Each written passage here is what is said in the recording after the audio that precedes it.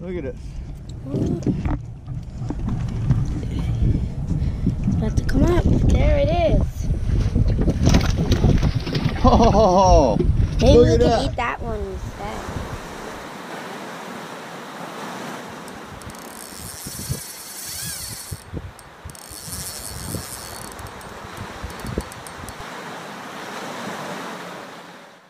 welcome to South Florida saltwater fishing. I'm Heath, and it's Tips and Tricks Thursday. In this episode, I'm going to go over with you what I've been doing over the past couple of weeks to catch mutton snapper. I'm going to go over the rig I use, the rod and reel I use, how I store my rig so that it's still good for future use. I'm going to go over the bait, the technique, the spots, and a few other things that'll up your game if you're looking to target mutton snapper. Before we get into this though, do us a favor. Hit the subscribe button, give this video a like, and leave us a comment. We'd love to hear from you. All right, everybody, you know what time it is. Let's do this. So we have to start out by saying mutton snapper are like structure oriented fish. If you don't find structure on the bottom, you're probably most likely not to find it. They hang out on wrecks, they hang out on reefs. What I've found over the years of fishing for them is the deeper you go, the bigger they get. So if you're fishing, you know, in uh, 30 to 50 feet, your mutton snapper are going to be barely legal, which is 18 inches, if not, you know, short. Deeper you go on the deep wrecks, the bigger they get. Mutton snapper are very skittish fish. They do not like terminal tackle. So if you've got a leader on your setup that is three to four feet long, they're most likely going to see your sinker bouncing around if you've got one, and it, it's going to scare them off, and you're going to end up getting some bottom feeders or yellowtails or something along that nature, which might not necessarily be your target mutton snapper. The method that I use when I'm going targeting mutton snapper is I use a conventional reel. I've been going rather on on rather deep wrecks between 160 and 135 feet. So I've been putting an ounce and a half egg sinker on it with a little barrel swivel. Then that's the basis of it. The next thing I do is I'm putting a 15 to 20 foot leader on it. That keeps my terminal tackle way away from my hook. So when my sinker hits the bottom of the floor, it's not gonna, you know, make a distraction or, or spook the fish should they do it. Also, my sinker will come down and my bait will sort of flow back, which gives it a more natural look. Also, which is why you want this long leader. I use Seaguar Red Label. This is a 20 pound fluorocarbon. 20 pound test fluorocarbon. Um, you can use whatever brand name you want. This, I'm just particular to this. It's a little bit uh, more pliable. It's not stiff. Fluorocarbon tends to be stiff. This is the one I find that works the best for me. All right, so I'm to go. There's about six feet, 12 feet, 18, and then a little extra to make it about 20. And I'm going to rig it back in here. These spools come with something that'll hold your line uh, tight to it so that it doesn't just flop around and come unspooled from its packaging. All right.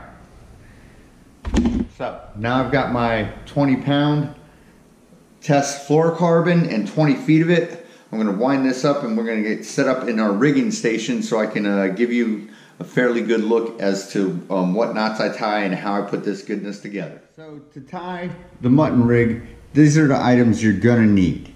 Um, I have my main line which is attached to my reel over there and I'm actually going to do this this whole setup because I want to show you how to store the rig when you're done. So main line, ounce and a half egg sinker, 3-0 octopus hook, looks like this, got a shank that's bent back, nice curved barb from the company Eagle Claw.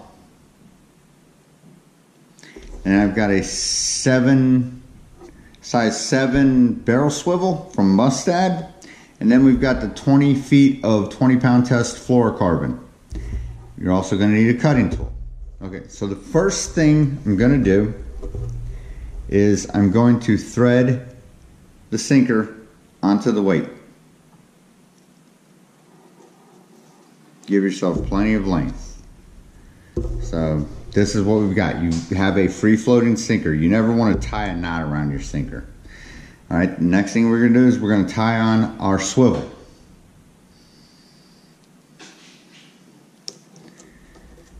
We're using basic clinch knots with these. Um, if you don't know how to tie a clinch knot, uh, I'm going to drop a card right here. You can go check out that video. It's a great simple tutorial. This is basically known as the basics, uh, the basic fishing knot. It's very simple.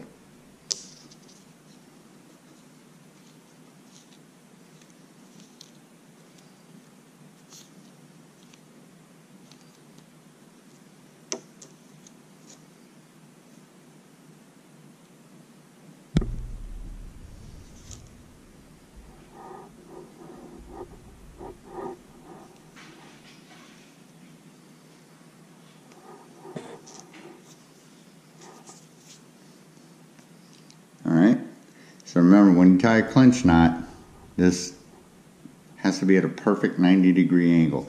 If your knots ever look funny and they don't look right and pretty, I suggest cutting them off and starting over from scratch because the last thing you want to do is lose a fish uh, due to a knot failure. Trim off your tag end. Okay. Now the next thing we're going to do we're going to find one end of our 20 foot leader and we're going to tie that up to our swivel. And again, another basic clinch knot. The rig in itself is not too complicated. What is uh, fascinating about it is the fact that you have this 20 foot leader, which um, can seem, you know, daunting, but there is a way to store it, and I'm going to go over with that with you.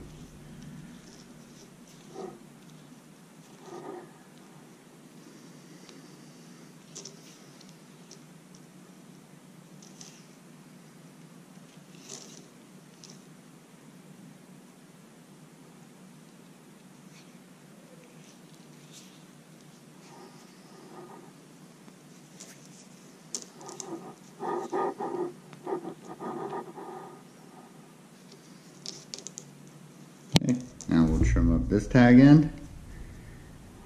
And now we are going to tie our hook, or I call it the business section of this rig, onto the other, the final end of our fluorocarbon leader. You want to use fluorocarbon because it basically disappears in water it only ups your chance of getting a hookup. And again, one last clinch knot, and then we'll be done with uh, tying the rig, and then I'll go forward with um, this process.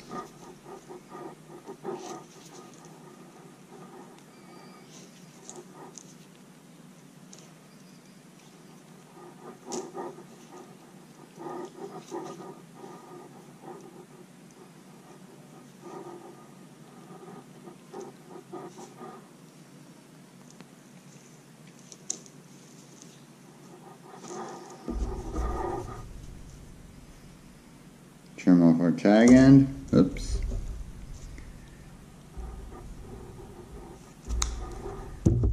Alright. So, that's basically it. Now I'm going to show you the next steps. Before we shift gears, I want to go over the bait that I use when I've been fishing for mutton snapper. I've been using strictly Spanish sardines. This is my generally horrible rendition of a sardine. I'm going to show you what I do to rig them up and a couple different little things you can do. All right, so the first thing is, is you'll have a sardine. You're going to want to take it so he doesn't spin in the water and you're going to want to trim off his tail. But when you trim it off, you don't want to trim off the entire thing. You want to leave some of the cartilage on. So when you trim his tail, it'll look like this and you're going to leave just a little bit of it on there. Don't trim it all the way off. Then you're going to take your hook and you're going to sink it right where the, the, skin's going to stop about here and the tail will start about here. You want to put it right at where about the skin ends. It'll kind of go through the uh, through the cartilage and through the right where the, the, the tail and the skin begin. And you just sink your hook through it one time.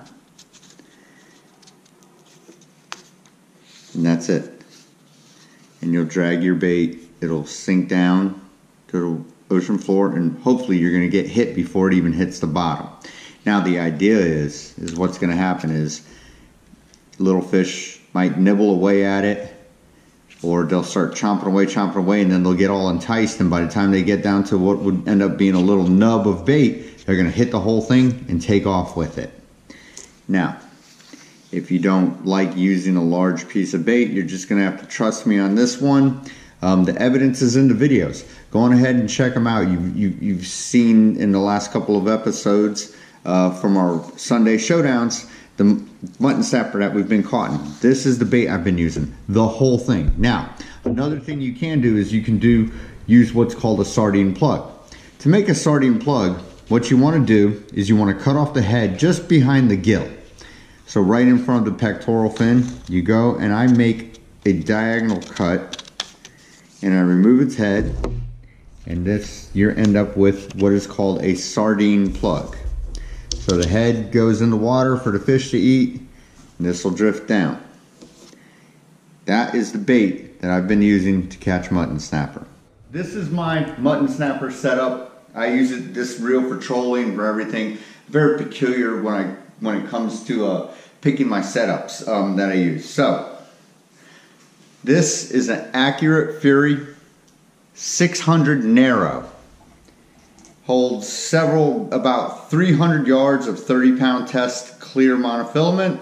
If I go with braid, I can probably get about six or 700 yards of it, but um, that's not what I'm shooting for.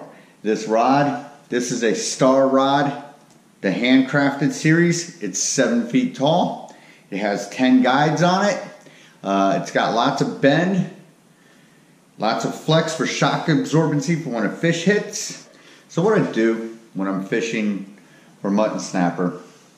I'm using a conventional reel, so my, uh, my line's going straight out. I'll put my reel in free spool. Line's gonna go out. I let my line all the way down to the bottom and then I continuously keep letting line out.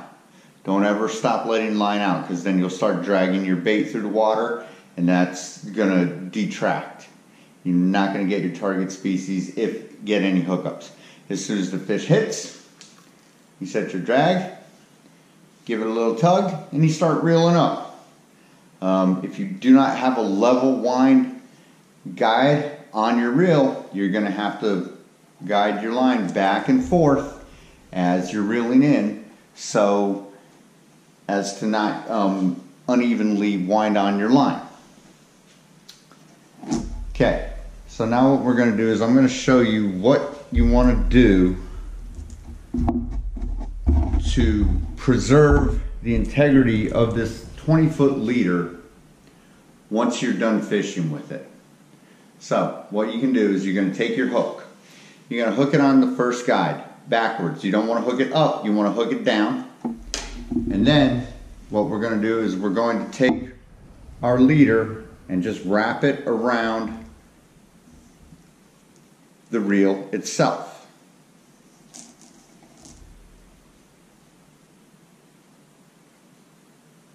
If you do this backwards, it won't work. You want to start with the hook end first and then wrap wrap it around your reel and I'm going to show you why.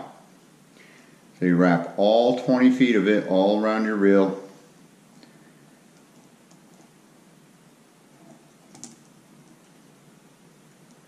And this will sort of preserve, it'll keep it in a nice sort of round spool format as which it came off of originally. Oops.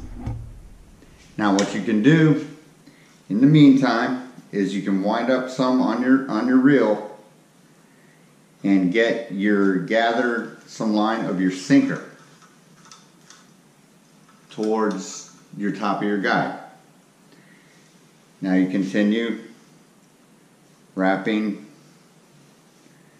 winding your leader on. Make sure you get out any wind twist. You don't want to pull against it. If you get a tangle in it, pull it away from itself. That way you don't twist it into a knot.